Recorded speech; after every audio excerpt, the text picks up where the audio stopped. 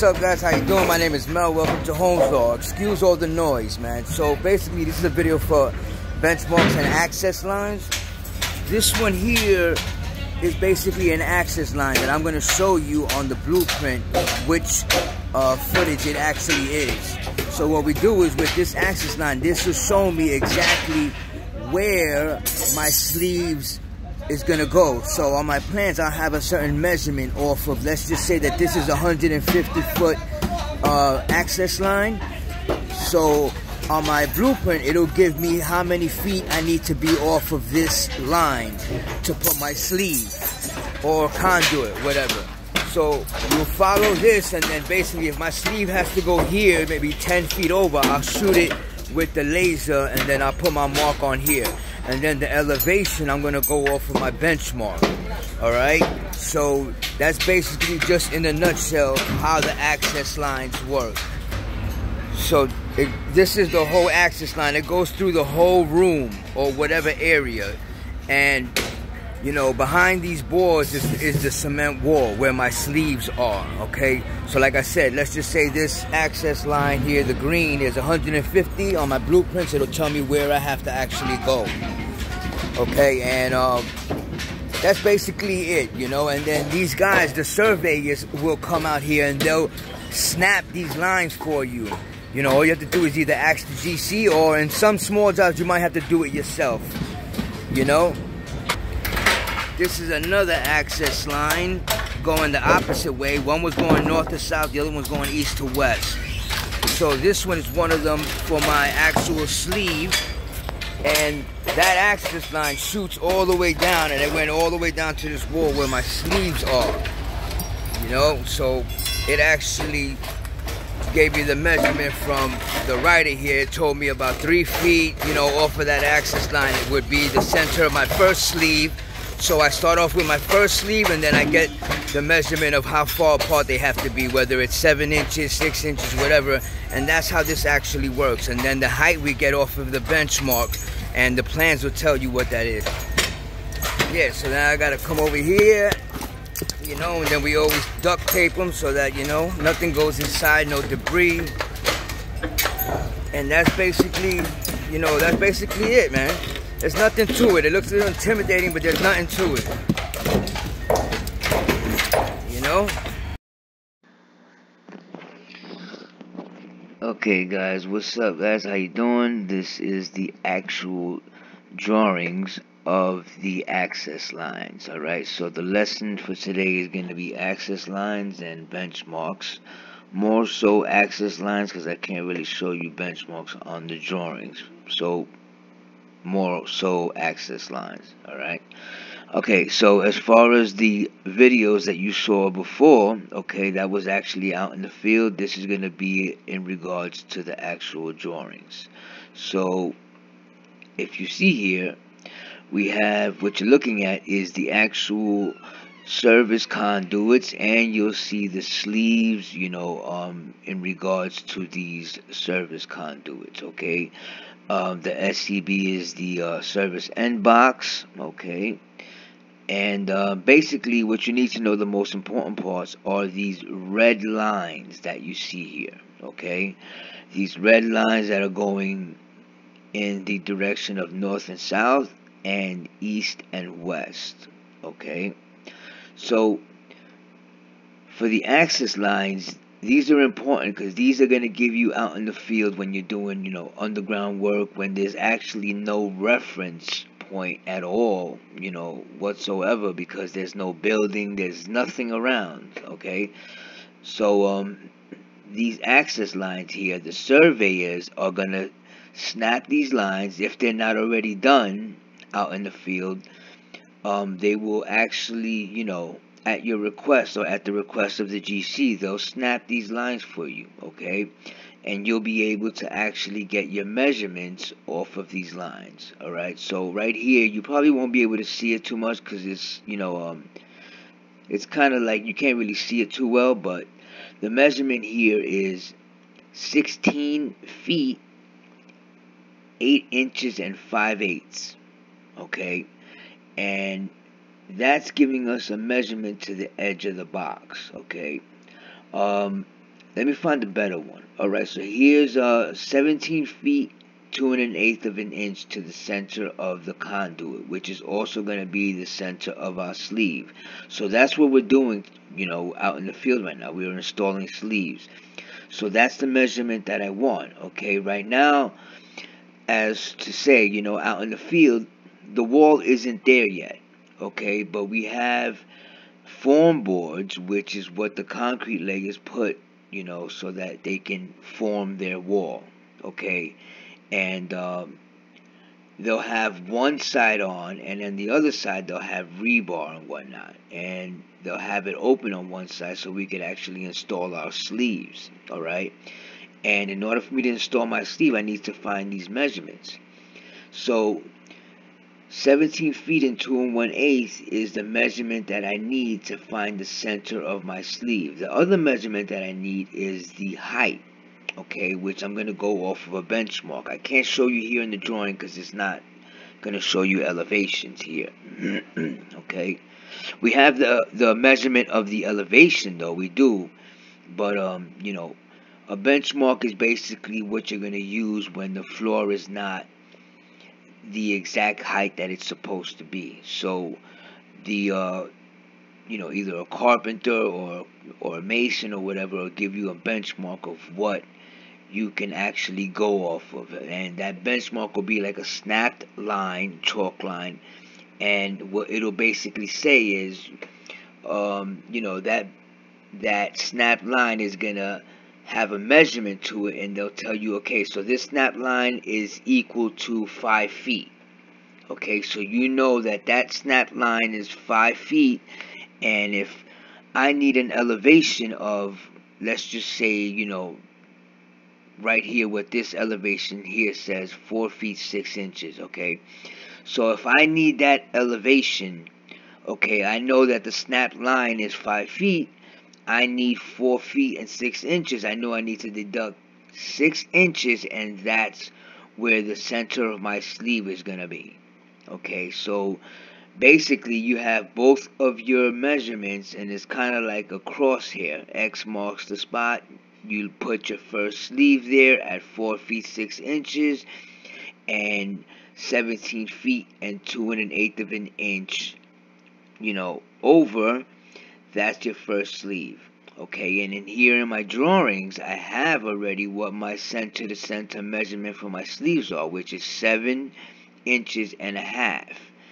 Okay, for each sleeve. And that's basically it. Once you find the first sleeve, the other ones fall right in line because you already have your center to center measurement. Okay, so it's basically, you know, that simple. It really is. Okay, your first step is to find an axis line that you can use to get your actual measurement from. And sometimes the surveyor won't give you the actual measurement, the actual axis line that you see on your on your drawing. But it's the same thing. Let's just say um, you see this red line here, this axis line to the left here where I have my arrow Let's see what that number is, okay? And if I go all the way up, okay, I see that that is 152 feet east, all right? So let's just say he doesn't snap us this line and he gives us, uh, you know, either one that's 160 or one that's 150. All you got to do is just do your calculation accordingly either add or subtract. And that's basically it. You know, you don't it doesn't have to be the actual measurement that you have in the drawing as long as you have some kind of reference point, all right? So if you if it was if this is 152 east and this is our measurement off of that axis line and they happen to give us 150, you know you need to add a couple of feet to it you know, or vice versa, or whatever. If it's 160, you know, then you would do the opposite. So that's basically what the axis lines do for you out in the field, okay? And um, it's not only done for sleeves and whatnot, it's also used for underground pipe work, you know, to locate where your conduits have to be installed out in the field when there's nothing there but dirt, okay? Um, so that's what basically an axis line is. And I wanted to show you and teach you this, guys, because not too many apprentices have the uh, experience of doing this. There's not too much underground work, you know, being done in New York, you know. Um, maybe in other states, you know, this is very common. in New York, you don't have that much deck work being done or, you know, uh, underground work being done all the time. Only because, you know, we do a lot of renovations here instead of, you know, underground, you know, from the ground up. Um, I will say though that there is a lot of from the ground up work being done lately, you know. Uh, so yeah, so basically that's that's that. And if you want to do another example, see we have a red line here. Um, let's just say that this axis line is. Um, uh, let's go check it out. Actually, let's see if we can check it out. Let's see what that axis line is to the right here let me see 190 okay so that's 190 excuse the the lag here I know it's kind of not catching up quick there but um excuse me for that so that's 190 let me find the 190 again. This one here is the 190 the one that we just saw okay?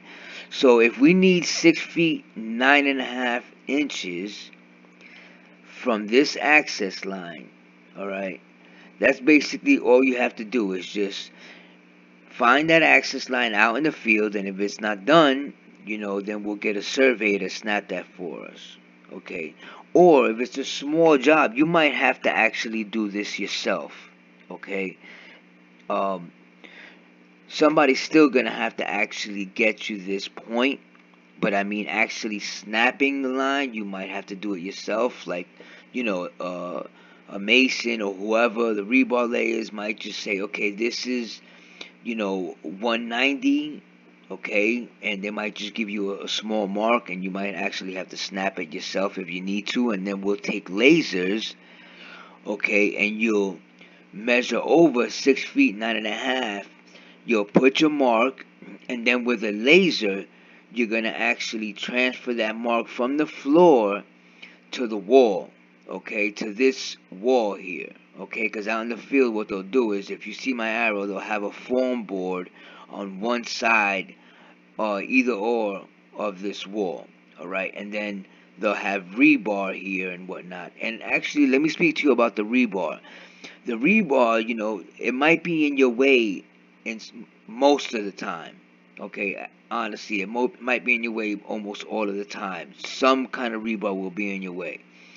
And what we'll have to do is we'll either have to cut this out or the masons will have to cut it out for you depending on, you know, how your job site works. Uh, yeah, and they'll have to cut it out so you could fit your sleeves in. Alright? And, um, I mean, the lesson isn't really on installing sleeves. It's more on the axis lines and how to use them but um, yeah, you might have to, you know, either cut some of these rebars out or have them cut out so that you can fit your actual sleeves perfectly where they're supposed to be.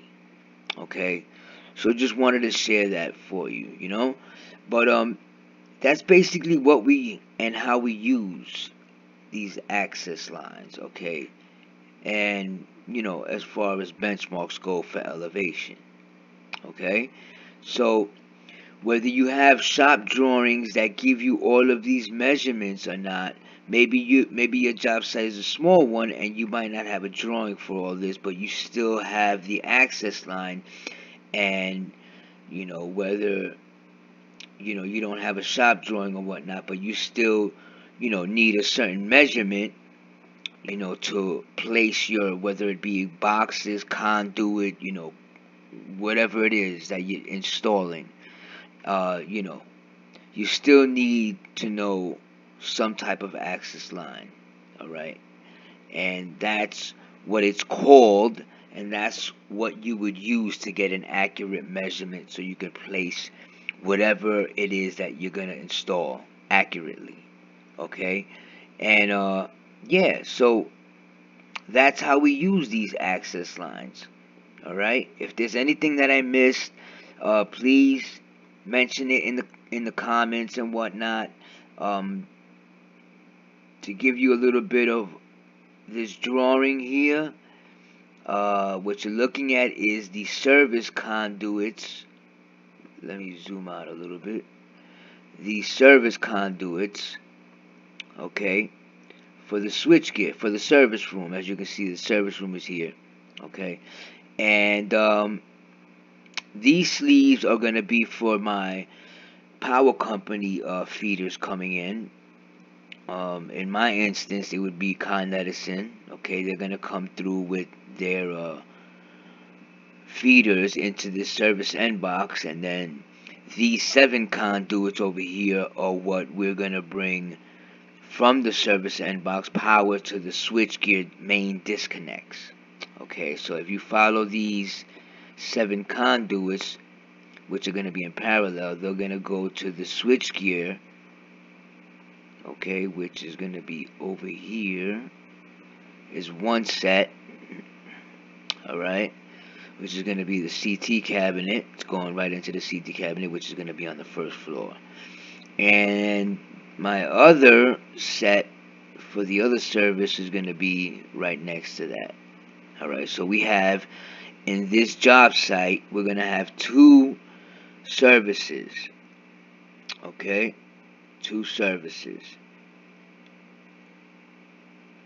And that's basically it. Yeah, so we're going to have 14 conduits to the switchgear room, which is what it says here. Okay, and it has the elevation and whatnot. And that's basically it, guys. Alright, I'm not going to continue on. I'm going to leave you guys here. And that's what axis lines are all about.